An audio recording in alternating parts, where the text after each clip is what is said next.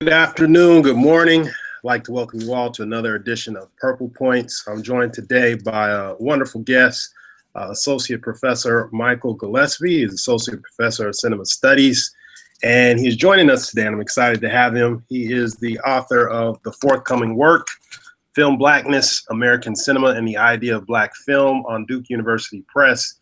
It is due out early 2016. So, uh, Michael, welcome. Glad to have you. Thank you. I'm glad to be here. So, the initial question I typically start with is what comes to mind when you think of the color purple? Uh, what comes to mind? Uh, well, I suppose I have to think about the first time I saw the film. Um, I was, what, a sophomore, junior in high school in uh, Marietta, Georgia and I remember making and making it a point that I was going to take my mother out to go see the color purple. So um, I remember that we dressed up. Kind, she kind of dressed up. I kind of dressed up, and uh, we went to go see the color purple. And it was just. Uh, I remember going into the theater, and it seemed like everyone that I had that uh, I had known from uh, various Jack and Jill functions was there too. and so, but I had no idea what the story was about. Um, you know, I, I, I think I vaguely knew it was an adaptation. Um, and then I saw the film and I was kind of blown away just because I'd never really been exposed to that kind of content before, that kind of really a, a story focalized around this notion of a black woman's perspective um, mm. or a black woman's narrative. Um, and then I think uh, a lot of my memories just get clouded by a lot of the rhetoric surrounding the film of this idea that it was uh, a film that hated black men and and then um, so I, I, think of this period in the 80s that for me i kind of mark of, of, of, of deliberately kind of responding of um, walking out of a color purple as a, a, a, young black man and feeling as though i, I you know i can handle it i can mm-hmm. i can okay. handle the story being told i don't feel as though i'm being crucified or indicted but um, i was thinking about it this morning though of so you've got the color purple that comes out in 85 and there's that huge groundswell of reaction against it which is already accumulated from the release of the book in 82 right? Right. So after 85 it seems to me that there are these really interesting public discussions of invalidating black women's stories that that begin to happen. So you have tawana brawley in 1987 um, right You've got Shahrazad Ali's Black Woman, Black Man's Guide to the Black Woman, which comes right. out in '89. You've got um, uh, the the Clarence Thomas and Anita Hill hearings in 1990. You've got Marion Barry being busted, and I remember being at Morehouse. Um, so there's that moment in the videotape when he finds out that his mistress set him up, and he says, "I can't believe that bitch set me up." And I remember the next day around the AUC, that people had T-shirts that were made up that said, "I saw the videotape and the bitch set him up." Um, and then in 1991, we have the Mike Tyson rape trial, right?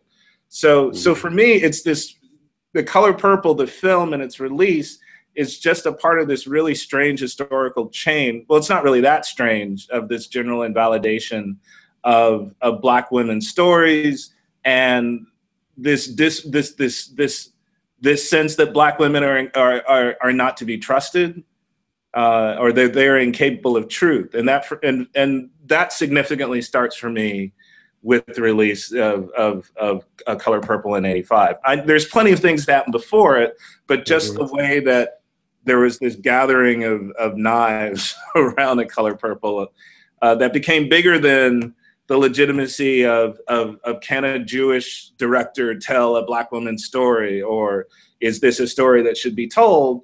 Um, but it seems to me there was just so little discussion of uh, of the film as ever being legitimate for so many Absolutely. reasons. Yeah, yeah. So that was kind of the the rush of things that came to mind of, of thinking of the immediately thinking about color purple. Yeah, you raised some some interesting points there, and I was thinking about the who can forget the Bell Biv DeVoe Classic. Uh, you know, never never trust a big button to smile. Yeah, yeah, so yeah, yeah, yeah. that, that yeah. whole running narrative throughout popular culture um, against uh, black women in, in some respects.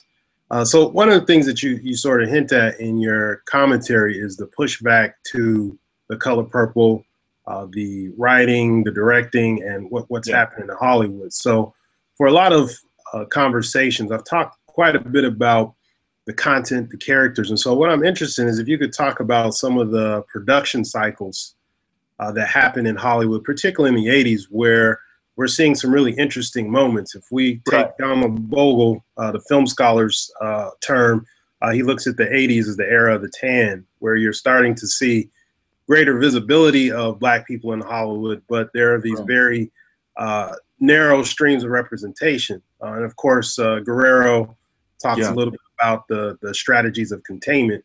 Um, Right. so how do you think the color purple functions within these various moments in Hollywood and how it's still able to, if you think so, speak to some validity of the experience that black women are having, particularly as it relates to um, this period in the South?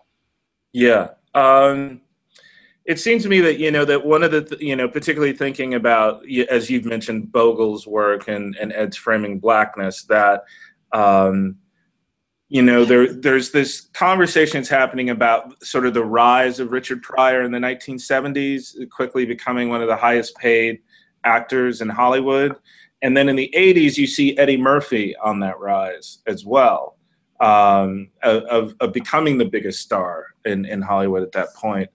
But that the kinds of films that are being made are still very much in this. The, there's there's this uh, prevalence of kind of the, the still the buddy film, um, a great deal of kind of the the, the comedy dramas. Um, but what in retrospect, thinking about a color purple, it's just it's a very ambitious film to me in terms of the people that are involved, particularly in terms of this of, of Quincy Jones working with with Steven Spielberg and this attempt to kind of tell what is a rather epic film uh, uh, that at that point in Spielberg's career, I don't think he had done anything as ambitious in terms of having an historical sweep like this. Um, so I'm also kind of thinking about how, uh, you know, there are people that kind of negatively frame The Wiz as the film that kind of killed any Hollywood ambitions of a great black cinema moment that would come out of blaxploitation. Um, and I, I, don't think that's particularly fair, but I, I, do feel as though what's happening with uh, the the kind of players that are being brought together as a team to work on the color purple, it's it's quite ambitious, and I think it's quite significant that there's so many folks like that from from various industries were were attempting to work together on this. Um, I also think that it's interesting that Alice Walker initially was not particularly vocal about some of the adaptation changes that were made, and it was only until years later, I think, and if I'm if I'm correct on that, about one of her fairly recent memoirs where she began, or maybe mm-hmm. uh, maybe in the last 10, 15 years, where she admits that yes, she was uncomfortable with some of those choices that were being made. Um, but I still feel, you know, even when we kind of think of the rise of various characters, I mean, it's Adolph Caesar's last film, mm-hmm. uh, who at that right. point, I mean, he'd already been so well established on, on, on the stage, but on screen, I mean, it seems to me that we really only have a soldier story, and then we have a Color Purple, and he died during the color uh, during the production of Color Purple. You've got Danny Glover, who's amazing, um, who before that. Uh, I think he had he had only had like a film debut only a few years before. Um, mm-hmm. You've got Oprah Winfrey, of course, and that and that kind of constantly recycled story that she wasn't really told that she was going to be called nigger by the extras when they were attacking her in the street, so that her reaction was a bit more uncontrolled than she had thought, but still. And then, of course, the story of her trying to squeeze into her Oscar dress, dress, which I always find hysterical. Uh, and then Whoopi Goldberg as well, someone who's kind of transitioning from the Broadway stage. So, regardless of how people might look back at this film disparagingly, um, I think a lot of careers were generated out of it. Uh, and, and of course, I'm sorry, Quincy Jones, of course, this is a particularly big feather in his cap ever, after already having a, a long established um, soundtrack career, or, or, or, yeah, a career uh, uh, marked by some really influential soundtracks. And you know, I remember my parents going out and even buying that Color Purple soundtrack album, the the the purple vinyl, yeah. the purple vinyl, and then actually finding, you know, when you're reading through the history of those songs, that there was a lot of of, of kind of musicologists knowledge that went into uh, not necessarily that this film was going to be um, about a reflection of truth, but that it was actually doing a kind of archive labor that I think is, is mm-hmm. fascinating. Mm-hmm. So all of these things to me strikes me as you know, particularly for 1985, as a, a pretty important moment in terms of the the kind of uh, the capacity of Hollywood to generate uh, distinctive and alternative in, in, terms of the what was generally circulating at that time, but kind of alternative uh, renderings of blackness on film. Absolutely, absolutely. And I'm just thinking about you know it's it's somewhat of a uh, you forgive the sports analogy, but you got the uh, you know dream team here with yeah. some Hall of Fame type players and some up and coming players. Right, who, right. Looking back on it, it, it's a it's a pretty powerful moment, and you kind of see this um, cycle return with um, it was a made for Showtime film, if my memory serves, with Whoopi Goldberg and Danny Glover uh, serving as uh, the two lead characters in another uh, novel turned film, uh, Good Fences. So yes, it's, yeah, kind of yeah. interesting to see that that narrative narrative arc in terms of time period, and then just where they are in their careers at the moment that they team up again.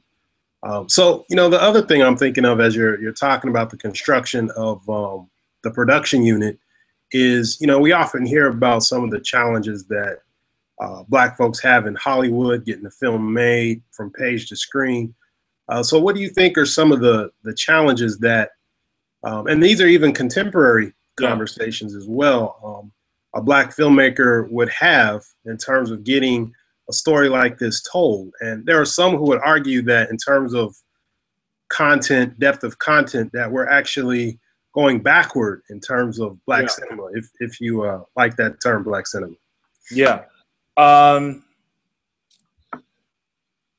well, I guess the, the the first thing that comes to mind in in terms of of, of our current moment and and and the moment of that the film comes out in '85 is is uh, I, I, I suppose I want to speak a little bit to this issue of um, the critique of the film as as as that it's not appropriate for a Jewish director to do this film, mm-hmm, which mm-hmm, is uh, and and the preciseness of that of claiming that a Jewish man cannot tell a black woman's story or uh, or or a black story more generally, which um, I think a film, a soldier story, kind of disputes that belief, but also to kind of keep in mind that, you know, Jim Brown has talked about this, that in the production company that he set up with Richard Pryor, that they had a script for, for The Color Purple on the desk with them. And Jim Brown could not get Richard Pryor to commit. I mean, nothing came out of this production company that Richard Pryor had put together, but that there was an opportunity then to say, do a a black version of, of, of, this that never really came to fruition. Um, I so in terms of thinking about you know the as you put it this kind of dream train gathering, I think that we are living as as scholars who are interested in blackness in cinema and as and as as as as members of the audience who like to go see uh, blackness on the screen with some measure of nuance. I actually think we're living at, in a pretty exciting time now. Um, mm-hmm. Uh, particularly uh, thinking of, we could say 2008 or 2009, since then, the, the proliferation of independent black cinema at these kind of um, historically important independent film venues, particularly Telluride and Sundance or at South by Southwest. Um, mm-hmm. uh, on the on the Hollywood level, things might not be particularly thriving, but on an independent level, um, I think things are pretty uh, pretty uh, uh, uh, incredible right now. Um, I don't think, and, and, I don't think that the, the current Hollywood model, uh, black, white, yellow, bre- yellow bread, whatever, is is particularly interested in any kind of complicated cinema. Um, you know, I'm thinking recently of Steven Soderbergh's comments about a year and a half ago, where he just basically threw his hands up and says, you know, I cannot work in this in this this current version of Hollywood. David Lynch has said the same thing. You know, so a lot of cats that uh, that quickly became established as American auteurs in the last 30, 40 years, um, the current Hollywood model doesn't sustain it. Um, it it's it's there's there's not enough investment in in in telling really complicated stories that will because these complicated stories stories that don't leave you that don't leave you feeling as though you've been condescended to with a whole lot of mm-hmm. hallmark crap you know a la crash mm-hmm. or something like that you know it's like example. I, you know i'm i'm i'm a big kid you can you can scare me with some shit you can, and it's okay for me to leave the movie theater and be haunted by a film. I'm I'm down for that. Uh, but I don't like, you know, I, don't like this unicorn talk or things with a pretty little bow on it, and and that's that's that's antithetical towards big money, uh, towards Absolutely. big So especially uh, when you think of the the kind of dollars that are being generated um, in the the summer blockbuster cycle that we're currently in. Yeah, yeah, yeah, yeah. I mean, Dope is out, and I'm really happy to see that out. And there's a lot of, you know, they're definitely going to make a lot of money on the soundtrack, which is which is good because I know that that was something that helped Spike Lee over his first three films, particularly that he could always say that you know that you're going to make money on the soundtrack. So particularly School Daze and, and Do the Right Thing. Um, so yeah, it, it's I, I I think I there are just so many there there's so many black folk that are doing interesting work. It's just work that you have to dig a little bit more to see, or it's not going to have a um, it's not going to be in your local theaters very long. There's it, it's whatever remains of the art house cinema circuit. The, they're getting this work, you know. So, uh, uh, and I think that's that's pretty important. Absolutely. Absolutely. I think, you know, something you're you're saying, just thinking about the Hollywood cycle and this the stage it sets for the idea of blackness and black film. Uh, I'm wondering what your thoughts are in terms of how does that, in some ways, uh, set the expectations of, of the audience member who, let's say, they go to uh, Tyler Perry film, hopefully get their money back, um, and then they watch uh, something else that's a little bit more complicated in terms of its narrative structure. How do you think this plays with their idea and their expectation of what you know blackness is and the idea of it, particularly as it relates to uh, the art of cinema and storytelling? Right. Um, so one one of the lines that I have in my book is that uh, if I want to see myself, I'll go look in a mirror. I won't look at a screen, and uh, and I still I feel that because I don't want to be I don't want to be too cheeky and cute about it or, or to condescend to folks who are inspired by black film. I, uh, I, I, think that's, I mean, that's kind of an intangible value to whatever, however we want to quantify black film that folks can go, they see something and inspires them or to, to do whatever, you know, and you can't really measure that or uh, at all.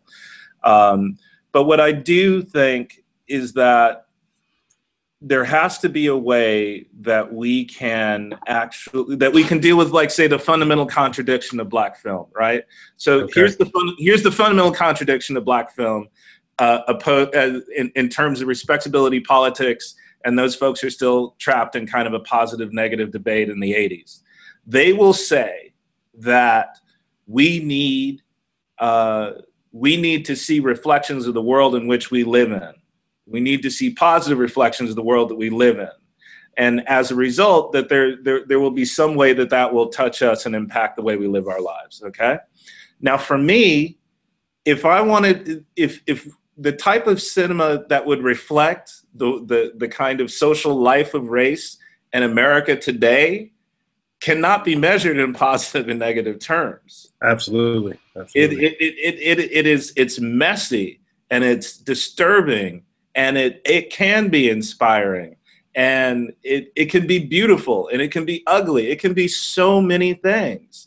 So that's the kind of stuff i want to see on the screen if i was invested in the reflectionist argument. But really what the reflectionist argument says is that i want something that's completely unrealistic.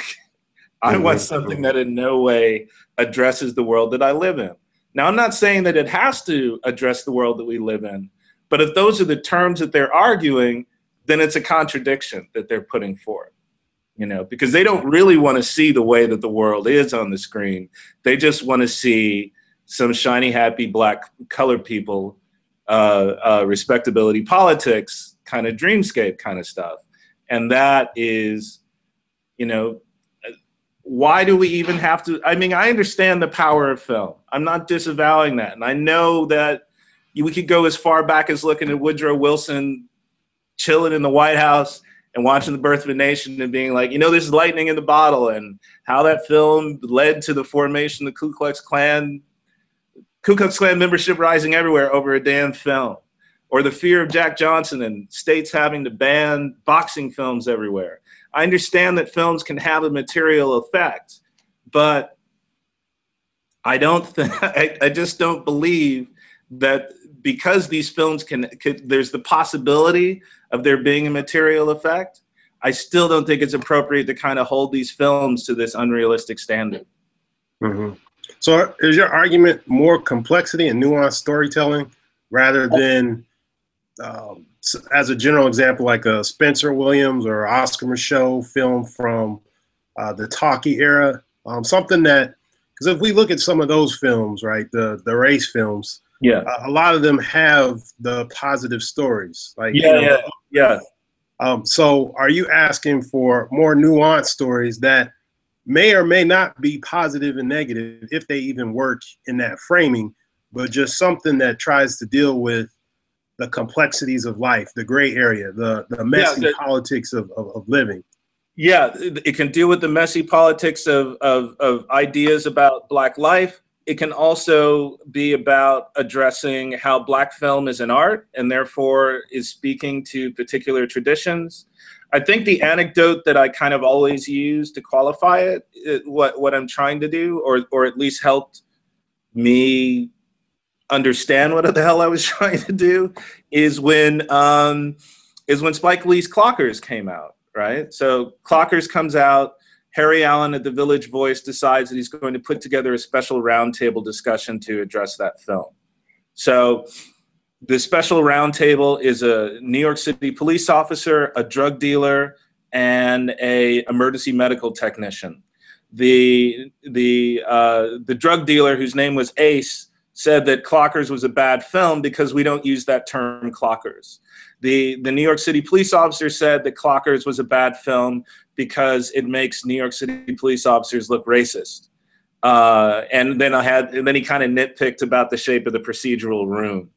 And the emergency medical technician just bizarrely was, uh, he said the gunshots didn't look real in that kind of opening montage of, of, okay. of Clockers. So uh, what really struck me about all that, other than, you know, having this, what the hell are you talking about moment, is that none of them were willing to measure it as a film. None of them were willing to measure it as a piece of art. So there's there there's no there's no investment in say asking, well, what does Clockers what is Clockers' place in the tradition of film noir? What is mm-hmm. Clockers' place, say, in the tradition of thinking about the urban space and issues of criminality in literature, particularly in terms of the work of Chester Himes?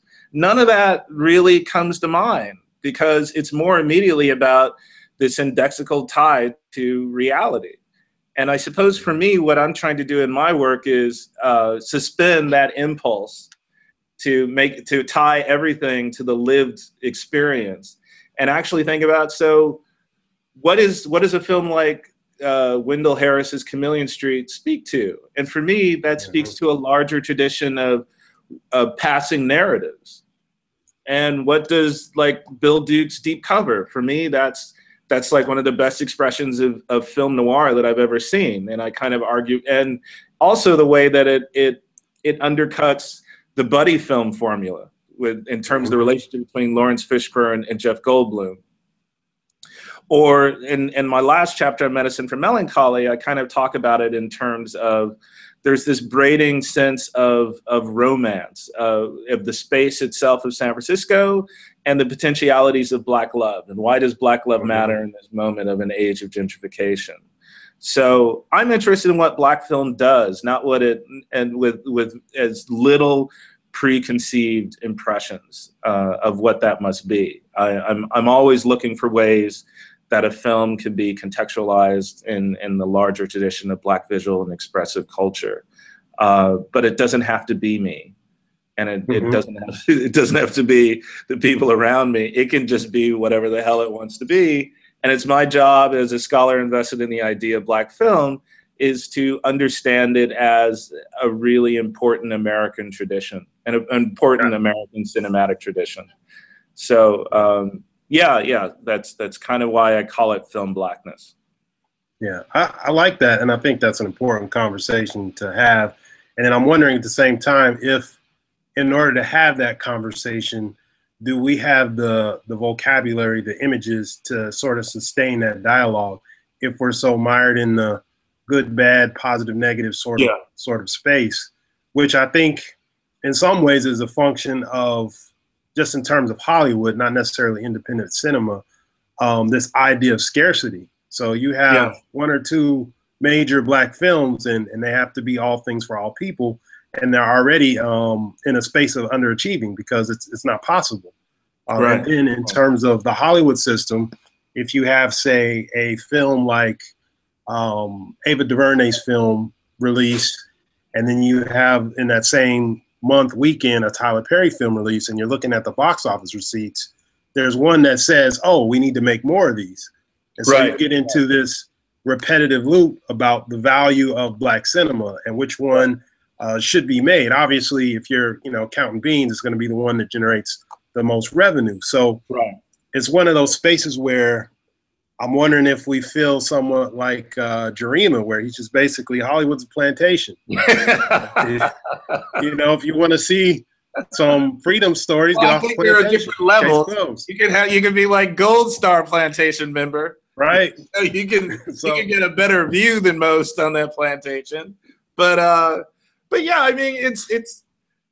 Can we expect a, uh, an industry which demonstrates the core values of capitalism to have any kind of social responsibility? I don't think so. Uh, because Hollywood's definition of social responsibility is that uh, whatever problems there are in society, they are not systemic. They are just isolated incidents that they can they can kind of raise the issue of the problem, but in traditionally around in, in 120 minutes, they'll squash that shit. Everything will be resolved. People will be back in their proper place. Um, I don't really. I, I mean, Ava. Uh, you know, I I was recently rewatching Middle of Nowhere. I think uh, DuVernay is an amazing filmmaker, and I think that that's probably my favorite film by her. I was thinking about some of the issues I had with Selma, which really wasn't an issue of her, but just thinking about civil rights history and that and and, and that rendering of civil rights history. But mm-hmm. I'm also kind of really tripping out on the fact that she's going to be doing Black Panther. Mm-hmm. it's just to yeah. think of, to, to, to think about from I Will Follow to Middle of Nowhere to Selma to now Black Panther I mean, that's a really incredibly escalating arc, right? Where right, right. you know someone who's traditionally who is who has been a strong supporter of these kind of ind- black film independent distribution channels has been able to seemingly on some very particular terms of her own, finally uh, uh, find herself firmly ensconced within the you know what is an incredible um, Hollywood franchise, which is the Marvel Comics spinoffs. Um, that's that's that's quite an exceptional moment, and and it's it's so rare at this point that uh, uh, I think you know maybe one could have could make an argument for us being able to, that maybe we should appreciate uh, what Lee Daniels has been able to accomplish as well. Um, I still think that brother has to learn what a narrative is, but other, at the very least, but uh, and I might have problems with his with his, the formal issues with his work. I don't want to talk to the mm-hmm. content because it seemed to me that uh, you know the, uh, again in terms of thinking of the color purple, when I saw again the way that that uh, black male public intellectuals responded to Precious, I felt as though it, they were saying the exact same thing that uh, about the color purple in 1985. Mm-hmm. And the same, and which was the exact same thing they said about Michele Wallace's uh, the myth of oh, yeah. Uh, yeah, Black Super again of, of of leaving you in this place to to kind of raise color purple again. I mean, when is it ever appropriate for a black woman to tell a story? In the terms that this kind of black male intelligentsia will accept.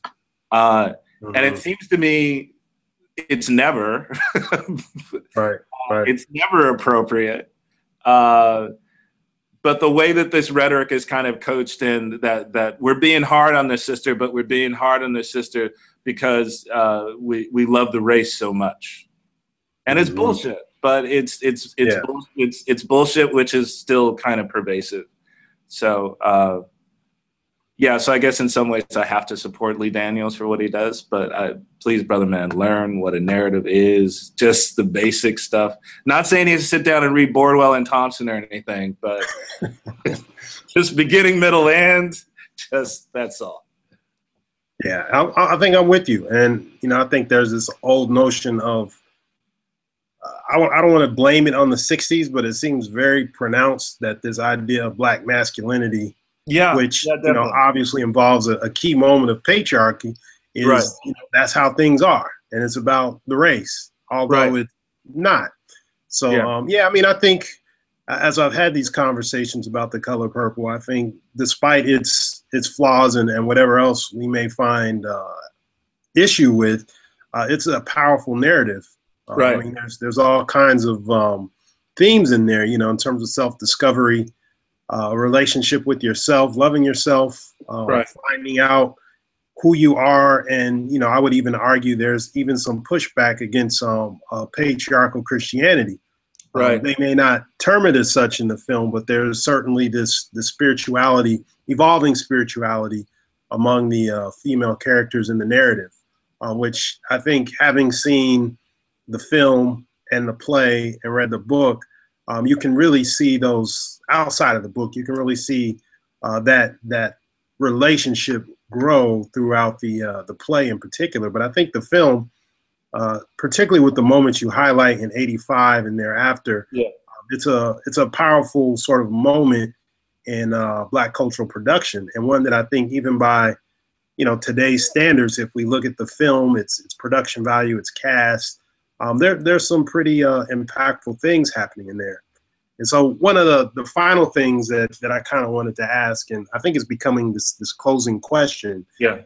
Um, if that film were remade, um, if you think it should be remade, how do you think the story um, would speak to, you know, the contemporary politi- political moment in terms of Black Lives Matter, and we're seeing sort of the the face of of racism uh, rear its head in really, really interesting ways in the 21st mm. century. Uh, I won't say new because it's not necessarily new. Right. Um, but how do you think this story um, would try to speak to that? If you think it would, or if it would just kind of speak to that particular time in the past? Hmm. Well, uh, by way of answer, I mean, the, the, while you were talking, the first thing that came to mind that I guess uh, I, I, I, I, do want to say, and that's kind of helping me answer your question, is that if it wasn't for this film, I wouldn't have read the book. Mm.